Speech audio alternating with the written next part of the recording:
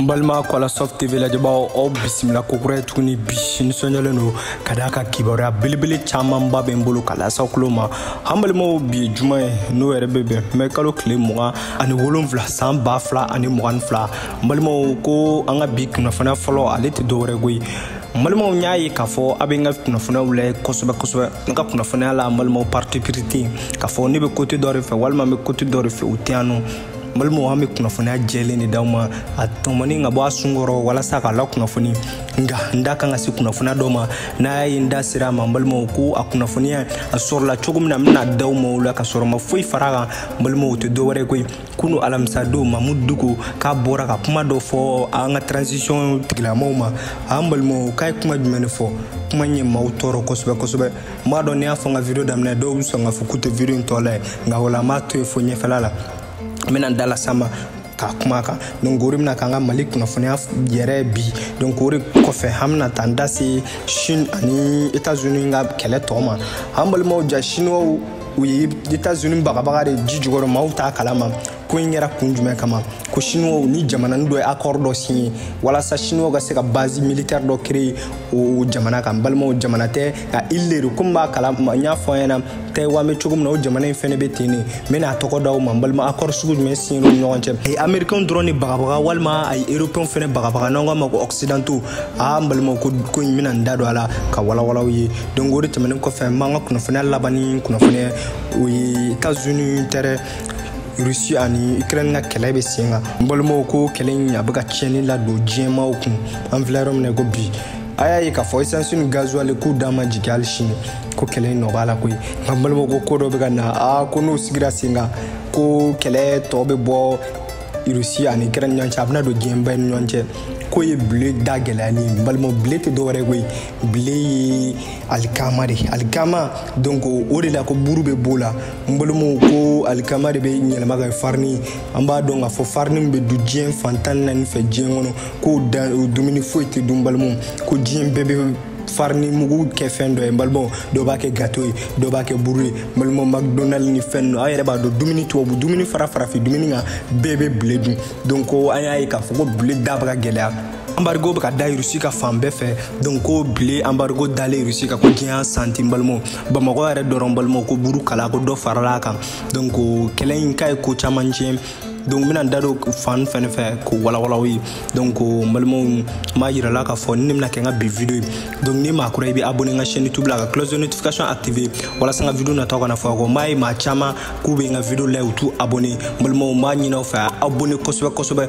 a ka video ɲɛ a k'a like kosɛbɛ kosɛbɛ yɛrɛ de n balimaw a k'a partager a ka partageli kɔni nafa fɛnɛ ka bon koyi donc n'o kɛra video bɛ taa yɔrɔ la n balima ma sigi ni yɔrɔ min ye donc n b'a yira la fɛnɛ ko kun eh, question dɔ bɛ ka to ka pose n kunna n balimaw a ka can kosɛbɛ kosɛbɛ n y'a ye maa dɔw bɛ k'a fɔ k'u bɛ fɛ ka dɔ dɔn ne ka ko kan ne yɛrɛ ye jɔn ye donc ne ko la yɛrɛ ye jɔn ye donc n b'a yira la k'a fɔ a y'a patiente dɔɔni ka d'a kan ko jɛmukaw sigilen b'a kama notamment a b'a ye rsm bezi walima cɛrinɔ ka plateau ninnu a n'a ɲɔgɔnna caman u bɛ artisiw wele ani influencɛriw ani kunnafonidilaw ni maa dɔnnen dɔw k'u wele ka t'u ɲininka u ka kunnafoniya la donc m'a yir'u la k'a fɔ ko n kɔni pɛrɛnnen don n'u mago bɛna don min na u bɛ se ka n contacter n balimaw n bɛ taa n yɛrɛ ɲɛfɔ ka d'a kan n ka abonné caman bɛ fɛ ka ko dɔ dɔn kan n ko ko a sirilen b'o de la donc n bɛ wagati dɔn d'u ma n'u ma n wele o hokumu kɔnɔna la n balimaw m'a yir'a la k'a fɔ n yɛrɛ n bɛna bɔ ka question demander aw fɛ k'an yɛrɛ ɲɛfɔ aw ɲɛna a tɛna mɛn donc o de la an bɛ taa an ka maa dɛmɛbaga belebele minnu m'an dɛmɛ n bɛna n da don olu la an dɛmɛbaga belebele fɔlɔ tɛ maa wɛrɛ ko ye ale ye sinali sanogo sinali sanogo ye jagokɛla belebele bamakɔ dabanani na n'u taama marché rose yɛrɛ kɛrɛfɛ n ka foli belebeleba ba ye balima an dɛmɛbaga belebele filanan tɛ maa wɛrɛ ale ye madu kamisogo madu kamisogo ale fana jagokɛla belebele bamakɔ dabanani na n'u taama marché rose yɛrɛ kɛrɛfɛ n ka foli belebeleba ba ye kɔlasɔf tv kanubaba dɔ bɛ kɔngɔ brazzaville kaw fɛ yen n'o k'a ma ko zumana sise n ka foli belebeleba ba ye balimaw m'a yirala k'a fɔ zigidala denmisɛnnin dɔ bɛ yen n'o k'a ma ko zigidi fuseni kulubali balimaw ko taalan b'a la kosɛbɛ kosɛbɛ a bɛ taa su a ka chaîne youtube sanfɛ n'aw sera youtube sanfɛ a b'a tape zigidi fuseni kulubali walima a b'a wele nimoro kofɔlen na 72 72 0005 donc n bɛ don n ka video kɔnɔ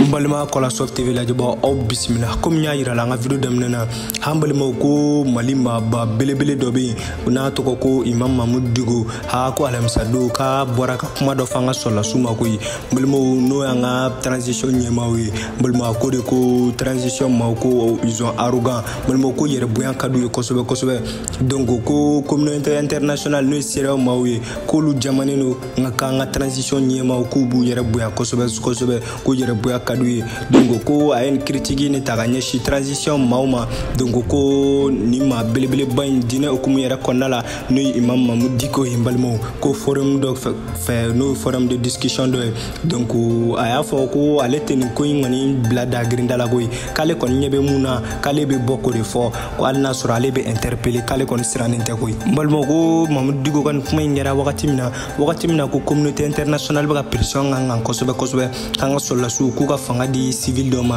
n'o ye civil élu ye n balimaw a y'a fɔ fɛnɛ ko jamana kɔnɔdenw k'u talen don otaji la parti fila ni ɲɔgɔn cɛ n balimaw ko jamana kɔnɔdenw k'u bɛ ka sa dɔɔni dɔɔni k'u t'a kalama jamana kɔnɔdenw bilalen don bamanci tigilamaw ni ɲɔgɔn cɛ balimaw ko ani baloko gɛlɛya min bɛ ka ta ka ɲɛsin an ka jamana ma ko n'o yɛrɛ kɛra ni sanction sanction binna an ka sidaw maw fɛ ko nin kɛra mamu digo ka kuma ye o de la k'ale y'a fɔ an ka sɔrɔlasiw ko n'o y'an ka eh, transition ɲɛmaw ye a ko yɛrɛ bonya bangɛn'u la kosɛbɛ kosɛbɛ wa k'ale ye kuma in fɔ yɔrɔ kofɔlen na wa k'ale bɛ bɔ k'a bɛ se k'a fɔ ko u bɛ se k'ale minɛ nka ko ale b'a fɔ hali sini k'a fɔ ko an ka sɔrɔlasiw k'u bɛ yɛrɛ boniya kɛ wa fana ko communauté internationale n'u siraw maaw ye a k'u fana jamanen don kosɛbɛ koyi wa ko nin bɛɛ la ko maliyɛnw de bɛ ka nin bɛɛ juru sara nin maa ninnu nɔ la donc a y'a fɔ fana ko mali bɛ transition bolo transition mun n'a tɛ fɛ ka ban pewu pewu n'a yɛrɛ ye kuma in ta ka ɲɛsin ma ko jɛnti tigilamɔgɔw donc ko mamu dugu a ye n'a ɲɔgɔnna caman de fɔ n balimaw ko an ka kunnafoniya tɔ ka jan donc an tɛ se ka a bɛɛ ta ka lasaw tulo ma na k'a nafama yɔrɔw balimaw ko nin ye nin de donc n ko m'a ta ka lasaw ma bamanankan na balimaw donc n ka kunnafoniya filanan komi y'a fɔ ɲɛna k'a fɔ ko chine ani états unis ja ko états unis k'a kun sirannen don chinois ka ko dɔ ɲɛgo ye balimaw tɛ dɔwɛrɛ ye ko chinois ni ile dɔ n'o ye archipel ye balimaw k'u ye bɛnkan sɛbɛ dɔ siye donc ko ile tɔgɔ ko ile de salomon balima ko solomɔ ye faransɛ de ye k'a bɛna fɔ solomana donc silamɛya hukumu kɔnɔna la donc solomana ko tubabu ka na u b'a fɔ salomɔ donc ko ili n tɔgɔ dalen don solomana de la k'a bɛ aziyan fan fɛ n balimaw